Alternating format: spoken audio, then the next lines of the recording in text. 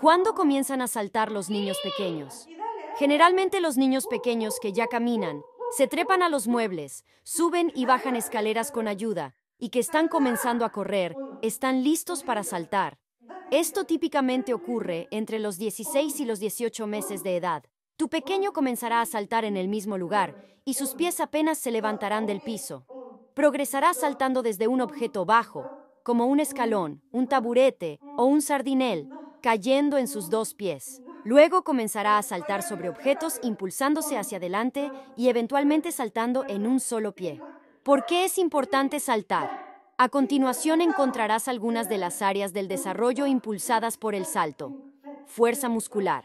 Saltar requiere de mucha fuerza y potencia, así que continúa desarrollando aquellos músculos que son importantes para los movimientos de motricidad gruesa. Huesos fuertes. Saltar supone un buen tipo de presión para los huesos que los ayuda a crecer y endurecerse. Planeación motora y secuencias. Saltar requiere de una continua abajo. planeación motora y de Un, secuencias. dos. Habilidades que nos permiten planear y ejecutar nuestros movimientos para navegar de manera abajo. segura en nuestro entorno. Así. Al saltar, Arriba, tu pequeño utiliza su planeación motora para evaluar la distancia, determinar cuánta energía se necesita para hacerlo y aterrizar, planear sus movimientos y luego realizar el salto en la secuencia correcta. Saltar emplea un nuevo nivel de equilibrio para tu pequeño. Ayuda al control de esfínteres, ya que los músculos que trabajan en realizar el salto son los que nos permiten esperarnos antes de ir al baño. Saltando señales de alerta.